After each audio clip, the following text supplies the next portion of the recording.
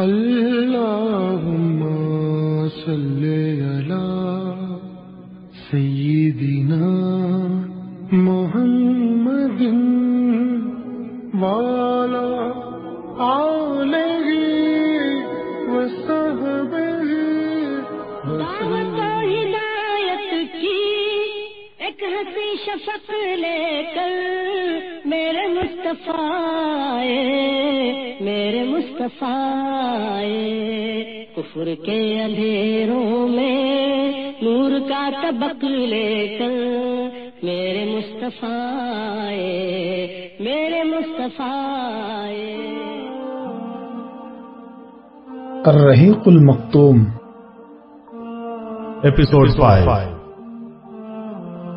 इक्तसादी हालत इक्तसादी हालत इज्तिमाही हालत के ताबे थी। इसका अंदाज़ा अरब के जराए माश पर नज़र डालने से हो सकता है कि तिजारत ही इनके नज़दीक जरूरियात ज़िंदगी हासिल करने का सबसे अहम ज़रिया थी। और मालूम है कि तिजारती आमद और अमन और सलामती की फिजा के बगैर आसान नहीं। और जजीरतुल अरब का हाल ये था कि सिवाय हुरमत वाले महीनों के अमन और सलामती का कहीं वजूद न था। यही वजह है कि सिर्फ़ हराम महीनों ही में अरब के मशहूर बाज़ार ओकाज जुलमजाज और मजना वगैरह लगते थे।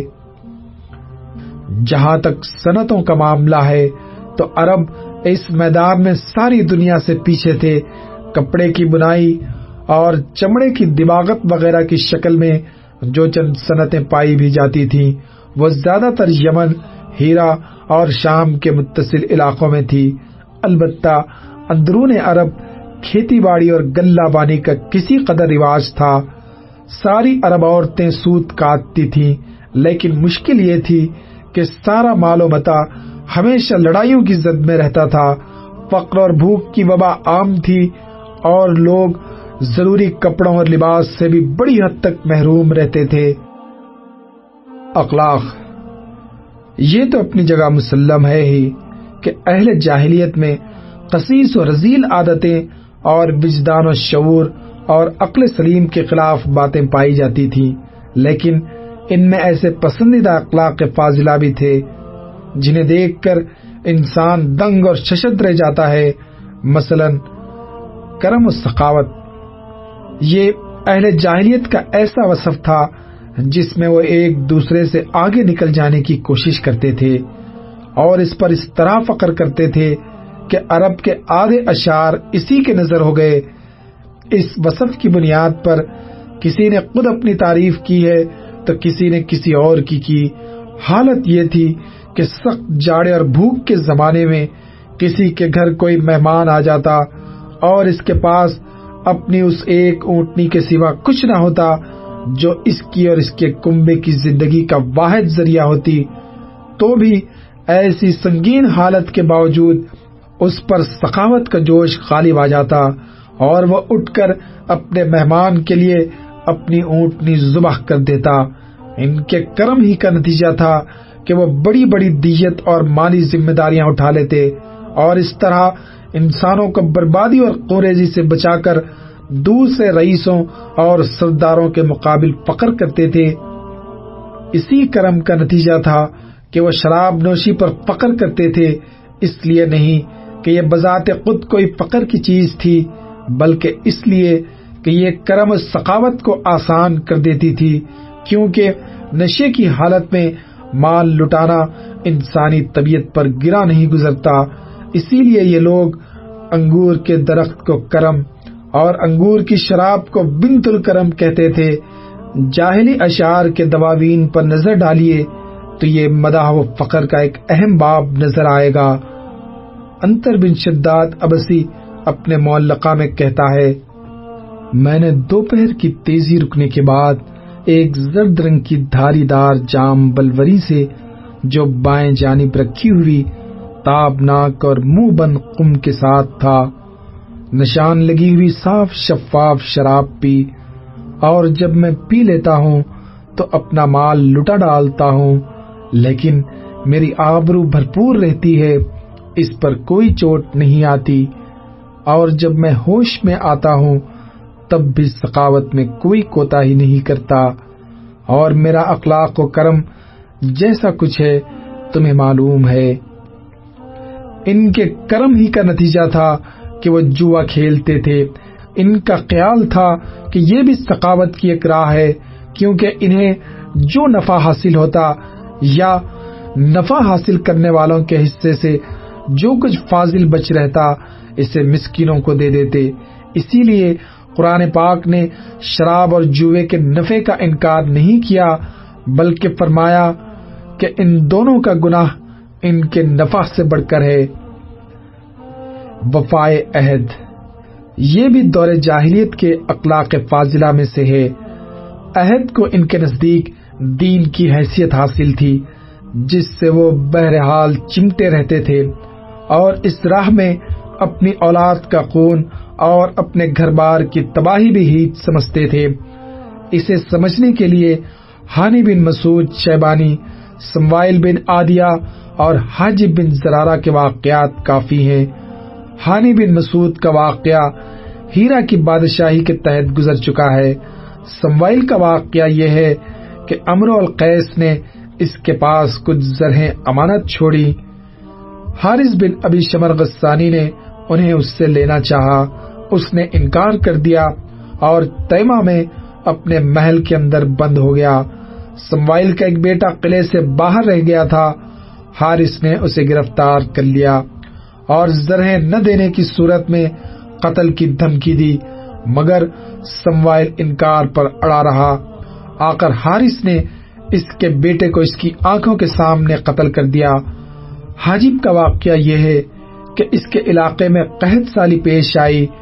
उसने कसरा से उसकी अमलदारी की हदूद में अपनी कौम को ठहराने की इजाज़त चाही। कसरा को इनके फसाद का अंदेशा हुआ। लिहाजा जमानत के बगैर मंजूर न किया। हाजिब ने अपनी कमान रहन रख दी और वादे के मुताबिक कहत खत्म होने पर अपनी कौम को वापस ले गया और इनके साहबजादे हज़रत अत्तार बिन हाजिब रज़ी अल्लाह ने कसरा के पास जाकर बाप की अमानत वापस तलब की, जिसे कसरा ने इनकी वफादारी के पेश नज़र वापस कर दिया। खुददारी व इज़्ज़त नफ्स। इस पर कायम रहना और जुल्म जबर बर्दाश्त न करना भी जाहिलियत के मारूफ अखलाक में से था। इसका नतीजा ये था कि इनकी शुजात और गिरत हद से बड़ी हुई थी वो फ़ौरन भड़क उठते थे और जरा जरा सी बात जिससे जिल्लत आहानत की बुआती शमशीर और सलान उठा लेते और निहायत कुरेज जंग छेड़ देते। उन्हें इस राह में अपनी जान की कतन परवाना रहती। अजायम की तनफीस। अहले जाहिलियत की एक खसूसियत यह भी थी कि जब वो किसी काम को मजद इफ्तार का ज़रिया समझकर अंजाम देने पर तुल जाते तो फिर कोई रुकावट उन्हें रोक नहीं सकती थी। वो अपनी जान पर खेल कर इस काम को अंजाम दे डालते थे। हिल्म बुर्दबारी और संजीद की। ये भी अहले जाहिलियत के नज़दीक काबिल सताइश खूबी थी। मगर ये इनकी हद से बड़ी हुई शुजात और जंग के लिए हमा वक्त आमादगी की आदत के सबब नादिर वजूद थी। बदवी सादगी यानी तमद्दुन की आलाइशों और दावपेज से नावाकफियत और दूरी, इसका नतीजा ये था कि इनमें सच्चाई और अमानत पाई जाती थी। वो फरेबकारी और बदअहदी से दूर और मुतनफिर थे।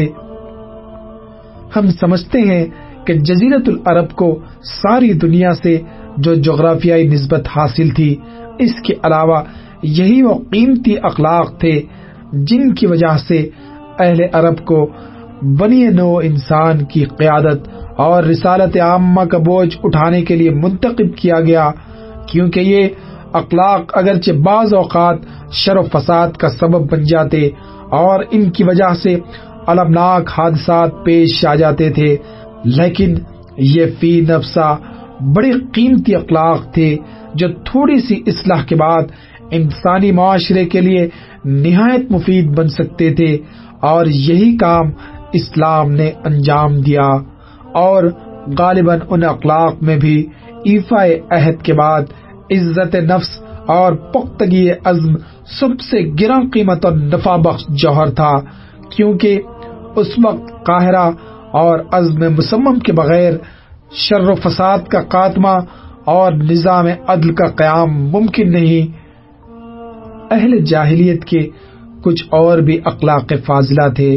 लेकिन यहाँ सब का तस्करा मकसूद नहीं।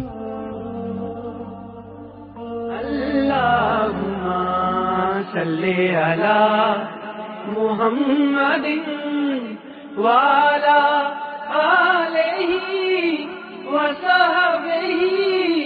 वसल्लिम। अल्लाहुम्मा सल्ले अला